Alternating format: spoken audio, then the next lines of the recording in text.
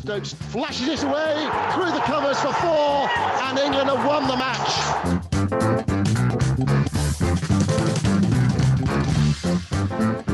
Hello and welcome to the Analysts Inside Cricket with me, Simon Hughes, Simon Mann having a little holiday, but no shortage of guests on this show, and we have a very special guest today. We're in the throes, of course, of the South African tour of England with T20s and ODIs underway, and of course, the Test series to follow.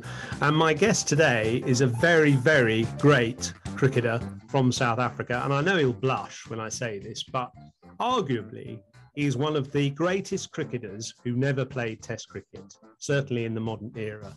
It is, of course, Vincent van der Bijl, who was a, a very, very fantastic bowler in the 1970s and early 80s. Your career timed exactly with, uh, unluckily for you, the period when South Africa were isolated from international cricket. So you never got the chance to play Test cricket. But I'm just going to read out your stats, Vinny, because you took in one season of county cricket, playing for Middlesex with me, and of course it was my first season in county cricket, 1980. You took 85 wickets in county championship cricket at an average of 14.72, astonishing, right at the top of the national averages for that season. We, of course, won the county championship and what was then called the Gillette Cup, which is now the NatWest, or was then uh, called the NatWest Trophy. It's now the rather slightly devalued Royal London Cup, the longer version of the One Day Cup. We won that competition as well, very much influenced by you. And over your career, and I say, you know, you were one of the greatest cricketers, never played Test cricket. Over your career, first class career, 767 wickets at an average of 16.5, playing in South African Currie Cup, etc. Now, okay, for context, I've got Joel Garner's stats up here from first class cricket. And Joel Garner, generally reckoned to be one of the finest fast bowlers who ever lived, similar to you in that he had uh, a similar height, six foot seven, and also pace. And his stats were 881 first class wickets at 18.5 compared to yours, 767 at 16.5. So that just gives you a bit of context for how good a bowler you are. Um, that's a long introduction, but let's hear from you. Uh, look back at your your playing career first. I mean, why why were you so good? It's just almost by accident. You know, my dad played for South Africa. He was a batsman, wicketkeeper, a bit like me, a bit cumbersome. You know, he was um, not very sleek like uh, Brett Lee or Allan Donald. So I had to work with those disadvantages. I wasn't like Joel Garner. Joel Garner, you saw at Gully, he was fantastic. He was very lithe and had a wonderful physique. I was always, as you remember, a bit chubby. Um, and so what I had to work on, I think, were three things. The, the only qualities I think I had was accuracy. I had bounce. I didn't swing the ball enormously, and obviously, if you pitch the seam, the ball seams. So that's everyone does that.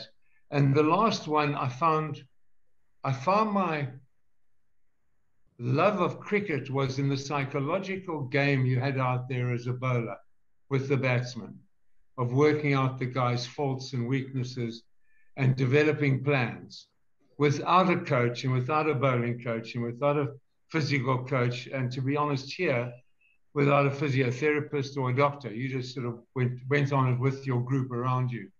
And we were lucky in South Africa because I played with Mike Procter and Barry Richards, Pat Trimborn, Trevor Goddard, um, and against Peter Pollock, Graeme Pollock, you name it. So we had a very strong group um, and we used to share, we used to share ideas. So I was like an absorber of information. I, I was never destined to be a great cricketer.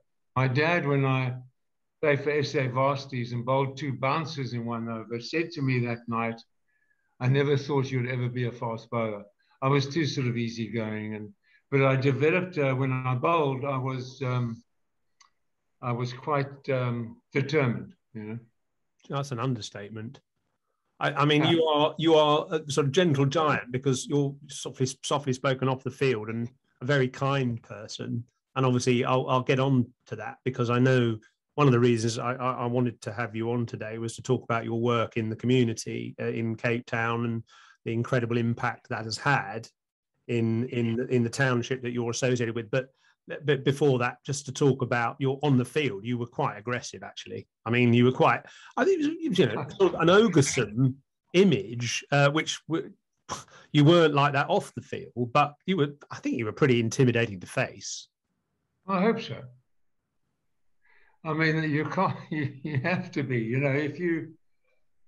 I remember Procky coming into bowl to me when I was quite young. You know, this guy kicking himself off the side screen, hair flapping and just looking fantastic. Um, so you had to be in the batsman's space. You had to glare at him. He, you had to, he had to know you were serious about getting him out. Mm. Um, but you know the way it was done, I didn't bowl a great bouncer. I mean, I did bowl bouncers, but they weren't particularly horrific. But I think it was just accuracy and trying to sort of work out to contain him completely, mm. to diffuse his abilities. So, and that was the strength. I mean, in the 80 year of 1980, I was lucky enough to play against Gavaskar, lucky enough to play against Glenn Turner. They both got hundreds against me, and a number of other really great players. We only played one match against the West Indies, which we didn't do too well. So we didn't really bowl too much because I think they had to score about 90 or 100. Um, but you played against the best in the world over there. It was a great um, source of joy for me because I read about these guys um, always. I'm a great reader, so I used to go back to the 1890s, 1920s, and these people from Pakistan, India, West Indies, particularly, who are greatly admired.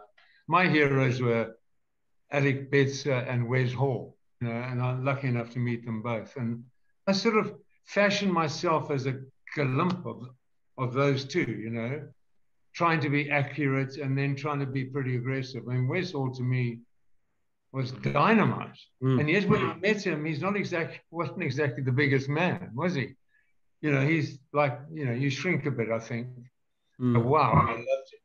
Yeah, he was he was a fantastic bowler, wasn't he?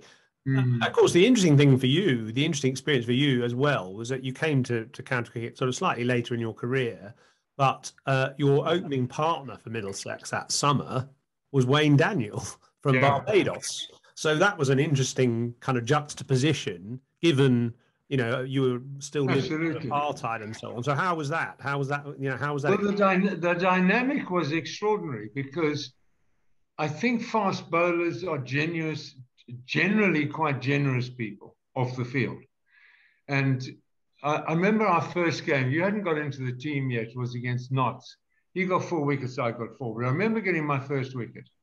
He ran across from five legs and jumped into my arms. Now, that was amazing, seriously amazing. So it was a total acceptance. Then we go down to Scarborough. Were you playing at Scarborough? No. Fred Titmus actually played, it was in his fifth decade. And the crowd bayed at Wayne and I, the Diamond because they couldn't work out the relationship between a white South African and a black West Indian. And in the third day, when Bluey Bairstow actually scored 145 and almost saved the game, a number of the crowd came up to us and apologized to us. They said, I'm sorry, because it was quite racist, you know, in its own um, dynamic, and said, We didn't realize you were genuinely good, genuinely good friends. And you remember I'll tell you a lovely story about Wayne. I presume I can say it on air. Um, Wayne, I came to Maidstone after two years of being away. And I, you guys were playing a 2020 game, or whatever you call those Sunday league games. And he came off the field and he said, so, so typical of him, he said, Vince, I've had a cartoon in my bag waiting to see you. And uh, he opened it up and it was two yobbos with come off Harley Davidsons with fat guts and chains, walking into a pub, and behind the pub owner had free Mandela on his t-shirt.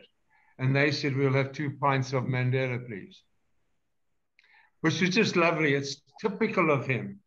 He was the most glorious of men. I can't tell you how much I really loved him. He was very special individual and did wonderful things for you guys. Yeah, it, was an amazing um, opening partnership, which I was lucky to sort of follow a little bit as a 20 year old. I mean, just come on as first change, you know, no wonder I took a few wickets because the, go, the, the, well. the bets, well, the bet, the batsmen were absolutely kind of cowering in their boots, and they saw me come on. I thought, well, hey, here we go.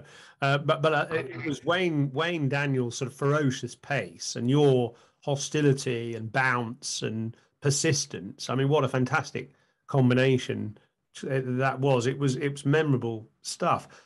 So, so tell us what you've done since, uh, just just briefly, um, before well, we get to your before we get. Okay, very very quickly. I, you know, during that time we were amateur. The only time I ever got paid for cricket really was the Middlesex. So we always had jobs. I was a teacher. I just moved across from teaching into Wiggins Teape. was a paper merchanting company based in the UK under BAT. And I started as a rep. Um, the only reason I got to England was JT Murray and Don Bennett came out, and my boss, who I just joined, happened to be a Middlesex supporter of 1949 and saw the famous Edrich and Compton's Golden Summer. And so they persuaded him that I should go over and I could actually um, go to a couple of mills that were owned by Wiggins Teape. And I eventually ended up uh, doing a, a week's course there.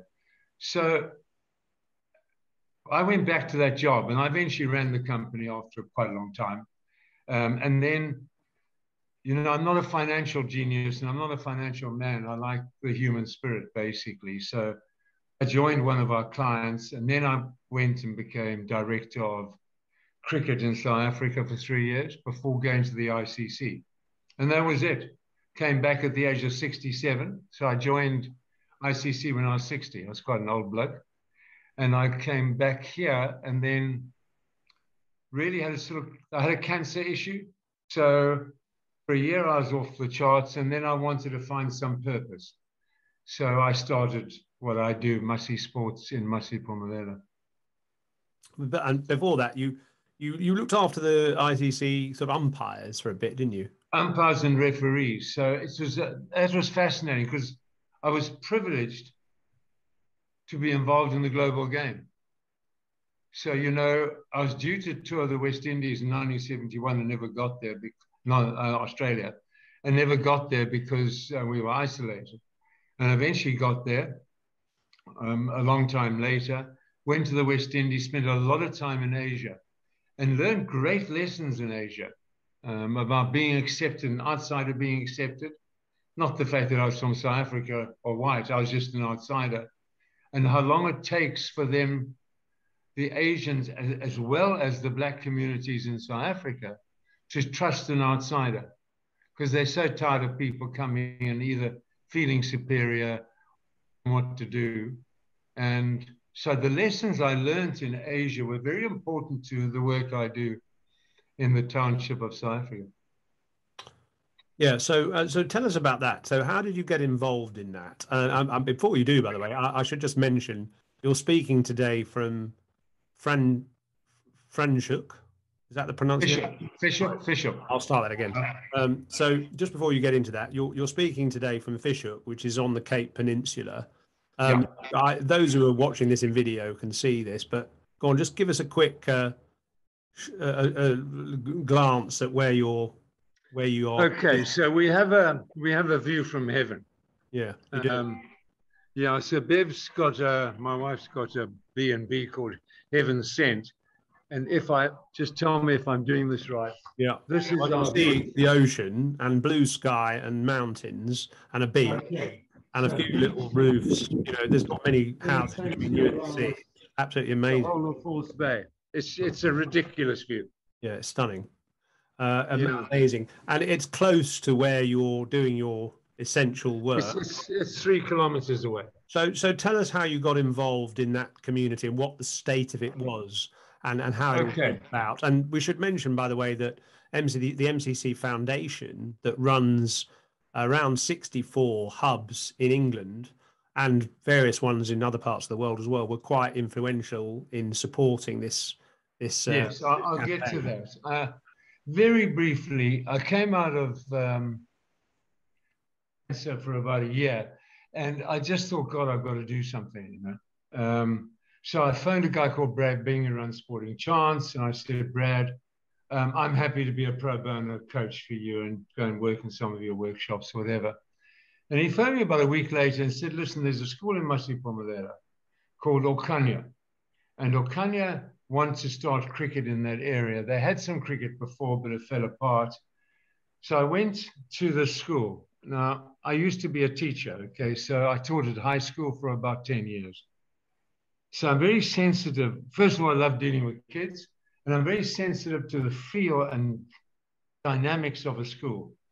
Went and sat down in this poor township, 50,000 people in half a square kilometer.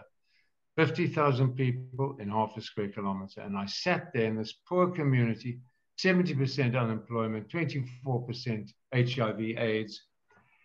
And there's that one netball court. And as this kid tripped across the um, netball court to go to school, she was slightly late, beautifully dressed. She was singing and skipping. And I thought, wow, here's a kid coming to school from this impoverished environment happy. So I started, it took about a year and a half, as it does. Those are my lessons of Asia, to infiltrate myself and develop a level of trust with the school governing body, the schools, and the community. And then I went, I was part of the MCC World Cricket Committee, very lucky to be invited on by Brealers. And I had sort of challenged some of the committee to say, I know you're involved with um, wonderful programs, but I think we all should be involved in a program that we have our hands dirty, that we actually work with. So they said to me the next day, okay, big boy, you go out and do it. And so I spoke with Derek Brewer and Brealers, and Derek Brewer was fantastic, and he took about nine months to, for the MCC to be willing to give me 50,000 pounds over a three year period to be startup capital. And there we started.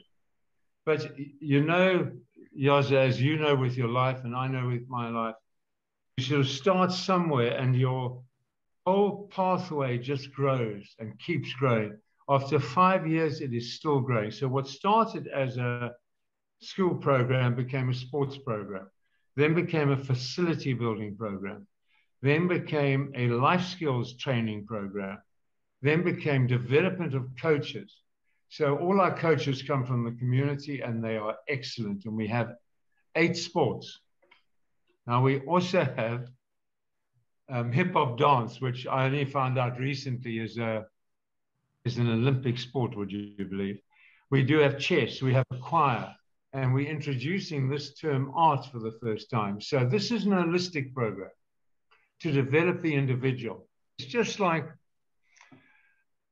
I'm not sure whether you would agree with me, but I, for many years, thought cricket changed my life. And it did in a way, but what changed my life was learning life skills that cricket taught me discipline, sociability, teamwork, looking after others, helping, caring, working hard. Um, and so those are the qualities I believe that develop proper, full, positive human beings. There's three things really. There's sport and and passionate pursuits, playing a violin, painting, whatever.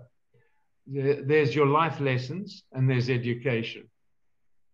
And in the end, I think the most important one of those three things, even though they're integrated like a marriage, are life skills. I think the ability to deal with people, the ability to see your future, those are the things that really count.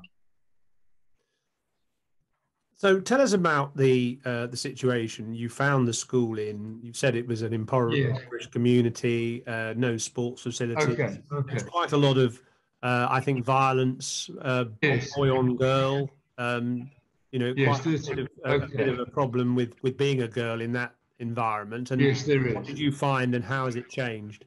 Okay, so when I got there, there was one coach, there was one um, netball court, the only sport that was played against other schools was um, was netball. So we put in three cricket nets, two 40 by 20 AstroTurfs, and one big field, 60 by 30, with blades of Astro play soccer and rugby there. Teams. We have 800 people playing sport after school. We've got 550 who take their sport very seriously. And we've infiltrated the staff. So 11 of the staff volunteer free and they don't get paid much. And they, you know, they live in a poor environment to help us coach because they see the joy of the people's faces. The other thing which is important is litter. Litter was horrific when we got there. We never made a thing of it. But because they developed discipline through sport, litter disappeared. It's the most amazing thing. When I got there, I, I don't know if other teachers would agree with me, but we found that at the, in the township, 10 year old girls always beat 10 year old boys in a sprint. And the 10 year old boys would always get very uptight and push the girls over and hurt them. And I spoke to the, the um, coaches about this, and we agreed we would just let sport take its course. That doesn't happen anymore. We focus on two things other than sport and life skills and education. Two things. One is gender equality. So all our teams are mixed except rugby, even though we're starting to get girls playing rugby. All those other sports are mixed. So they're girls in our cricket team, they're boys in our netball team, um, they're girls doing cycling, etc and, and all the other sports. So that was the one. And that has created, I'll give you an example. We played against uh, Generations, which is a private school up the road. And our front line of our soccer team were all girls. Beat them 9 0. And who scored the goals? The girls. So the boys backed them up and the girls scored. Now that leads to respect. Experience gender equality. It's not you can't teach life skills in a classroom. They have to experience the humiliation of defeat and the glory of victory and what hard work means.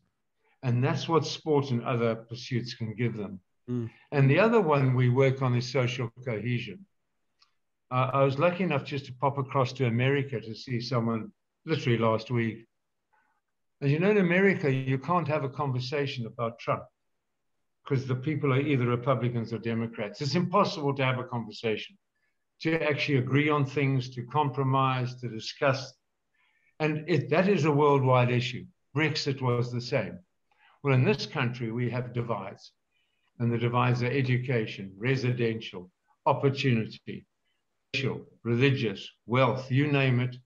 We've got every divide. And part of our problem is we don't talk and we don't share.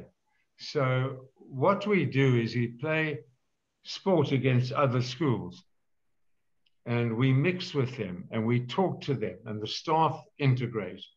And in the junior school and high school, which we're starting to operate now, um, which is great.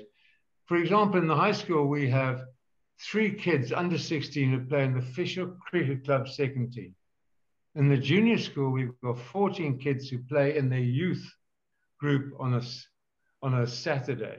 And in rugby, we do the same with their youth group. And that's important because those clubs are totally mixed whites, coloreds, and blacks. There aren't many Indians in this area because that's mainly in the town. And they get to know each other. So when they leave school, they can keep members of this club and work with society, a general society. So I mean, you'd understand the problems in South Africa. I don't go into the detail of that, but we haven't really moved on as far as division goes. We still have the townships. We still have lacking opportunity. Uh, the, the education in the black schools is appalling. Um, 87% is below average. So 20, you got massive inequality still then, really? Yes. Uh, uh, one more last example, just as a stat that'll shatter you. 94% 94% of schools do not have sport after school. We've won three cricket, rugby World Cups. We've been number one of three different formats of cricket from 6% of our schools, the 25,000. So all we can do, and this is where it's difficult, we can't change the world, but we can start the ripple. We can start doing something which is meaningful.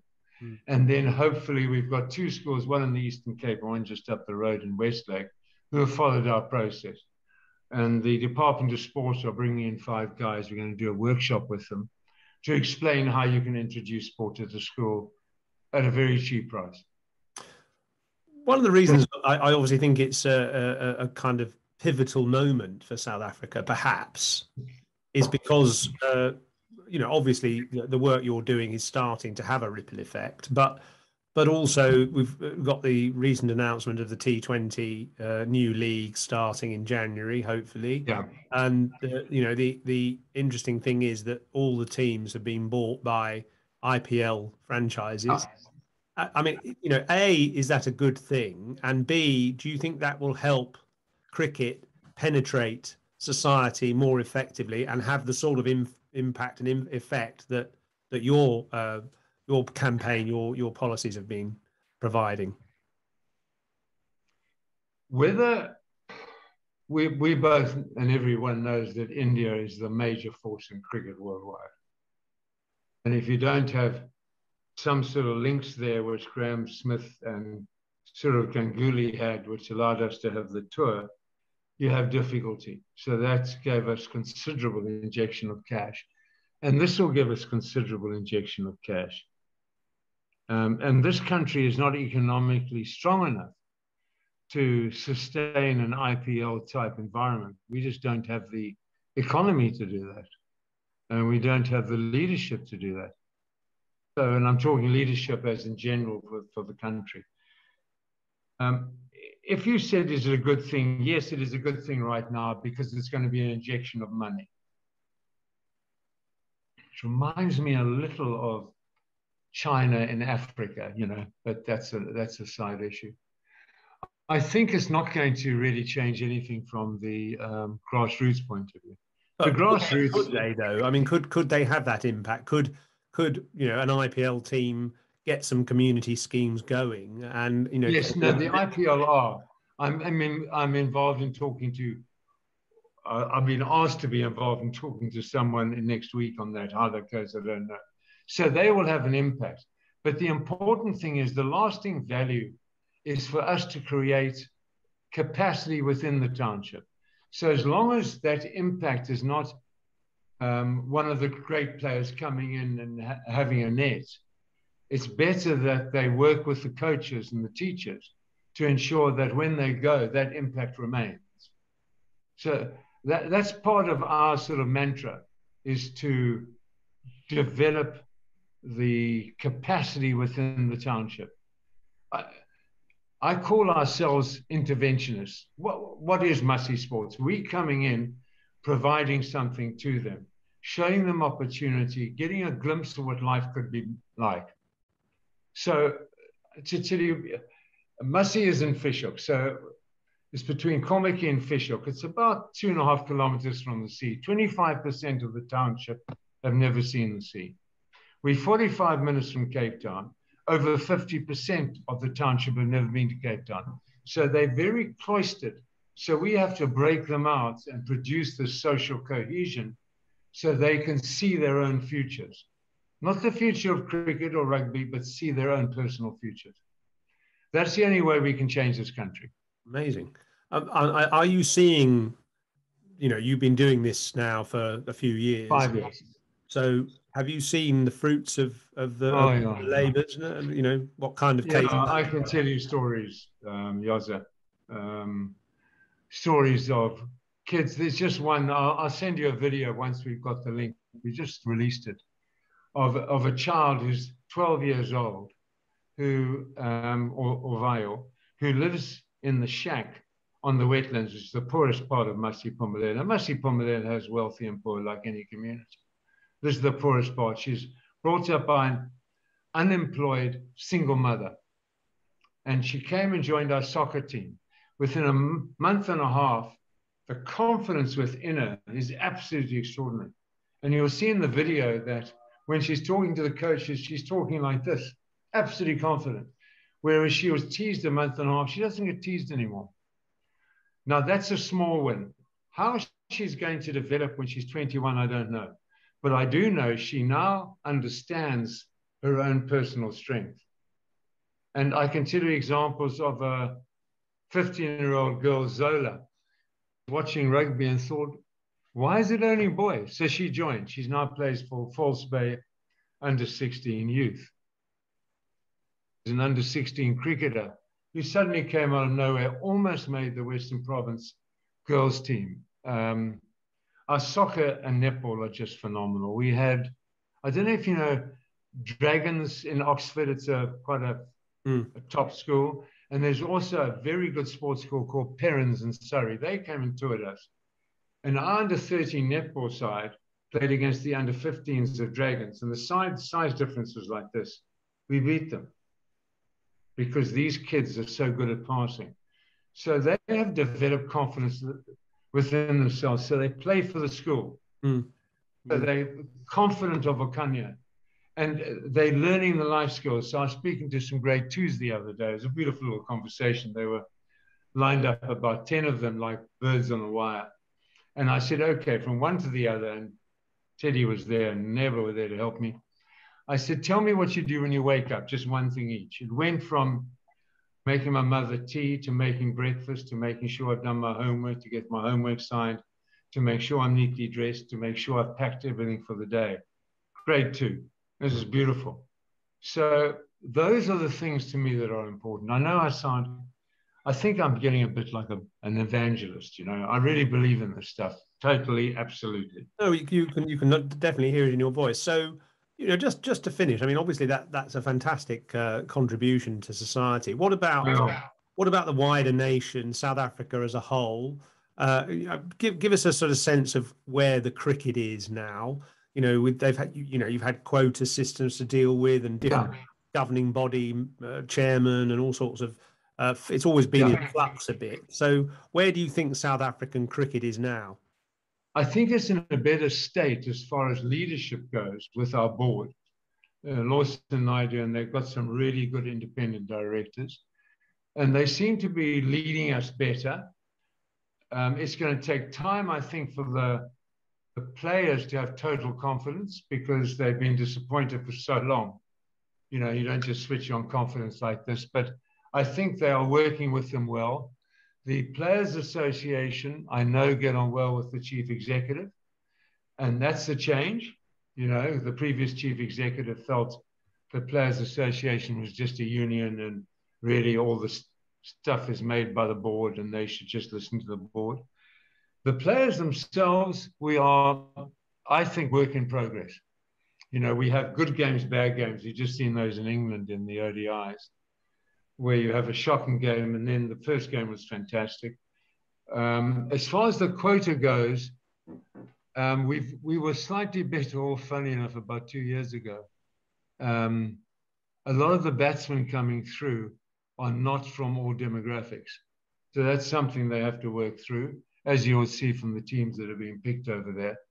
But we have some wonderful role models. I mean, Ngidi, Rabada, Bavuma are exceptional role models. So I think the work that they do outside the community, you know, I mean, Bavuma's got a foundation like Siya Kolisi. And there are a lot of people from every demographic doing that. So I think that's going to bring it through. Because people in the townships need to see the role models and yeah, work with yeah. them. I, I was going to say, I was going to say that because I, I, don't know. Does does cricket penetrate the townships yet? Yeah, but you know, if you're looking at sport, soccer, netball are number one and two. Rugby has become very popular because of the World Cup, but cricket is, I would think, number four. Hmm. Might have that. Someone might disagree with me, but I think Cricket is was when I was with Cricket Society the second most popular cricket sport in South Africa. Whether rugby has gone past it, I really don't know.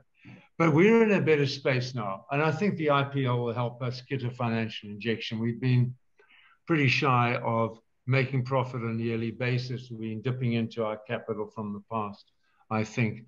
So we are in a better space, and I think we better regarded by the global community, which is just as important you know, not, it's not just India. India and South Africa have a relationship that goes back to Mandela. You know, they have Mandela and Mahatma Gandhi. You can't have two better world leaders. And they developed similar sort of processes. And there's a deep respect. So I'm glad that has sort of filtered down over the years into cricket, which I think is very important to us. So I think in the short term, having India with the IPL is going to be great. It's going to give us money. They're going to do some work in the townships. But it's what the people in the townships and the people that surround them do that count.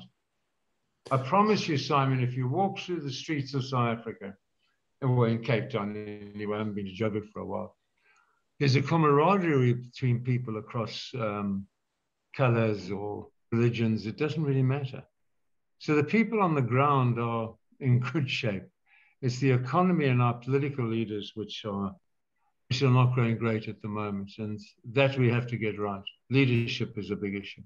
Does it worry you at all for the game that uh, the South African board have decided not to play some internationals in Australia so that all the leading players are available for your new T20 competition? Well, it's the same as the IPL being provided a window. I, I think that is a not just a South African issue. I think what we're talking about is a global issue on cricket. You know, why can't we have? Uh, we just had this MCC World Cricket Committee. You know, there are lots of different views out there. My view was that we needed to have a window of just Test cricket, where you don't go from domestic league to T20. People get so confused. You know, when you hook into a World uh, World Cup rugby, it's rugby in the World Cup. You do that with soccer. You do that with um, Wimbledon and Australian Open. Mm. And we are just now a hybrid. We don't know where the hell we are. We don't know who our certain heroes are playing for. Um, so I really feel like they seem to have produced a window for the IPL. We should have a window for Test cricket, and we should cut down the sizes on, of Test cricket. It's it's not so much the domestic league. It's what are you going to strategize for T20? Are you going to leave it as domestic or you're going to use the cash cow of, of the ICC T20? At the moment, there's nothing wrong with having three formats. I was in a, I was in a taxi um, in, in London recently, and the taxi cab, because they always got such fine wisdom, said, You know, you guys have got it right. You have kept going with the new generations. I took my 12 year old daughter to six hours at Lords of seeing the girls' game and the boys' game. She said she's hooked. She couldn't get hooked on a test match. And I understand that. We've got to remember that bit of it. But I think we've just got to sort out the structures. And our problem is, as you know, we've got a member based um, board at the ICC. So it's very difficult for them to look at the global issues. And we have to bed that down. So I don't think this is a South African issue. I think this is a global issue. And you've got grandchildren. Um, would you uh, would you encourage them to be a fast bowler? I'm trying to persuade my granddaughter here to be a fast bowler. Uh, there's a friend of mine, David Dyer, who's just been over to England. His grandchild there is a lightning fast bowler. She's about 12. And I think girls and boys, um, I think girls to be a fast bowler, you'll walk into a team. I think being a, a, girl in cricket is really good because you can start cricket at 15, as there's so many examples, and play for your country at 19. Being a boy, that's not possible. So girls cricket can really encourage good athletes to go through the system. And also when they get mothers, they'll follow the game. So it'll enhance the game. The boys is different. I mean, that's a good question, Simon. I prefer my my grandkids to be a good looking dude fielded first slip and bat number four, you know. But um, the discipline I learned and the love I had playing fast bowling was great. Well, fascinating to listen to your your story, and uh, I just want to say, you know, thank you for for all you've done for the game so far, oh, no. and will continue to do for society. And yeah, I, I mean, South Africa is a South Africa is a unique country, which I think I'm sort of I was privileged to experience a little bit of. Yes, that, yeah. Actually, that cricket in the, the 1980s, early 80s, was the Currie Cup. It was probably the most competitive cricket I've ever yeah. played with the standard of each team. And uh, let's hope that you can get back to that, I guess. Yeah, I'd like to say this though, Yozzer, just so you people don't think I'm doing amazing things. There are hundreds and thousands of people doing what I do here. Um, I, I owe cricket a huge debt. So I don't feel I'm entitled to anything. Cricket has done amazing things for me, given me huge opportunities.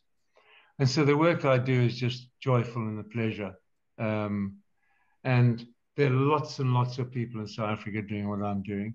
And I'm just a networker. So I, I use a huge amount of NPOs, Cool Play on Life Skills, MCC Foundation, who I had meetings with recently, who support us and support us with ideas. And then a whole host of Rotaries and other NPOs.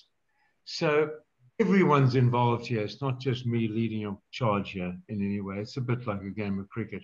We're all individuals working for the same end, you know. I, I really want to say that I'm, I'm not anything special.